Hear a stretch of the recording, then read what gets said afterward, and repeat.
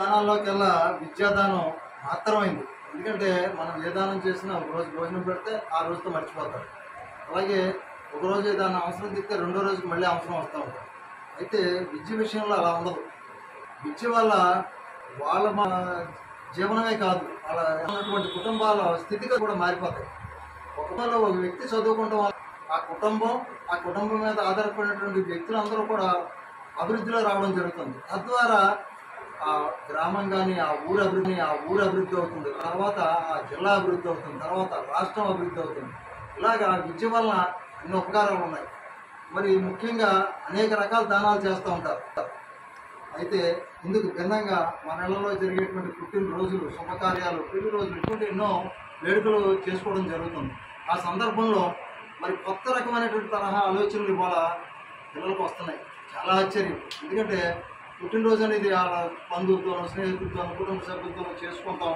Occasion అంతా ఒక వేడుకగా చేసుకుంటాం జరిగే రోజులు అది భిన్నంగా మరి భీమవరం మరి బియాంగా టిఫినీ అని అమ్మాయి వెస్ట్ బెర్రీ స్కూల్లో చదువుతుంది.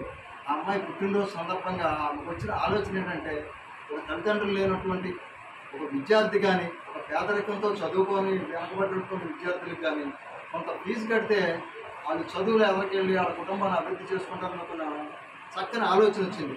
దానికి తల్లిదండ్రులు ఏంజల్ రాణి గారు అలాగే జస్టిన్ గారు వారి తల్లిదండ్రులు ఎంకరేజ్ చేసి ఇవాళ విఎస్కే కాలేజీలో డిగ్రీ కాలేజీలో చదువుతున్నటువంటి ముగ్గురు క్వీన్స్ అంటే ముగ్గురు క్రమంలో వీళ్ళు దత్తి సుబ్రహ్మణ్యం అలాగే దత్తి భావనశ్రీ దత్తి భరణిశ్రీ వీళ్ళు ముగ్గురు కూడా కమలు వీళ్ళు కుటుంబానికి కొంచెం చదువుకోవాలంటే ఇబ్బంది అయింది. ఆ తండ్రి కొంచెం బాగా పేదరికంతో ఉన్న కుటుంబం వాళ్ళ చదువుకు ఆటంకం కలుగుతుందని మేము చెప్పిన మరి వాళ్ళ టీచర్ గారు అయినటువంటి భవానీ శీతల్ గారు వారికి సూచన మమ్మల్ని అడిగారు ఎవరికైనా ఫీజు కడదామని అడిగారు. వాళ్ళ తల్లిదండ్రులు పెడతారు అమ్మాయి కుటుంబ సందర్భంగా చెప్పిన మేము ఇలా కట్టండి అని రిక్వెస్ట్ చేసాం ఇలా డిగ్రీ బిఎస్కే డిగ్రీ కాలేజీలో చదువుతున్నారు.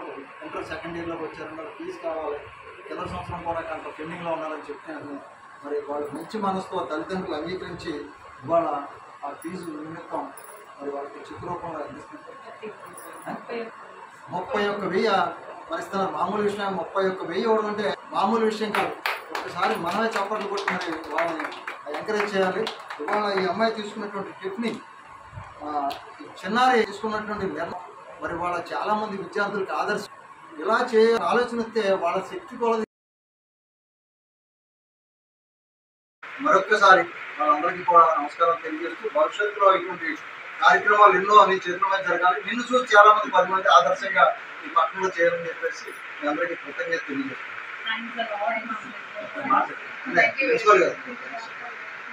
చెప్పండి తీసుకో Okay. Today I'm really కొద్దిగా happy, అలా. happy and proud because uh, దగ్గర వచ్చా సో అసలు రియల్గా అయితే ఇంటర్మీడియట్ అనేది నాకు కనెక్ట్ అయినది కాదు. నేను డిగ్రీ ప్రిన్సిపాల్ని సో రాత్రి మేడం శీతల్ మేడం ఫోన్ చేసి స్టూడెంట్స్కి ఎగ్జామ్ ఫీజు ఫీజు కట్టడానికి వస్తున్నామండి నేను మార్నింగ్ అన్నారు. అంటే మాకు యూనివర్సిటీ ఫీజు ఇదే లాస్ట్ డేట్ ఒకవేళ డిగ్రీ స్టూడెంట్ ఫీజు ఏదో కట్టడానికి వస్తున్నారేమో అనుకున్నాను నేను.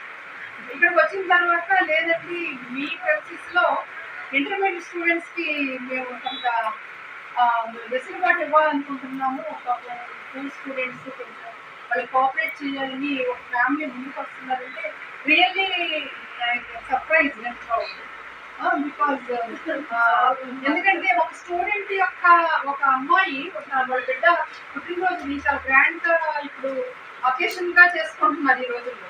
అలాంటిది దానికి భిన్నంగా పాప పేరుతోటి చక్కగా ఒక అమౌంట్ అమౌంట్ ఇంకొక ఫ్యామిలీలో అదే ఏజ్లో ఉన్న పిల్లల చదువుకి ఇవ్వడం అనేది నిజంగా గర్వించదగ్గ విషయం.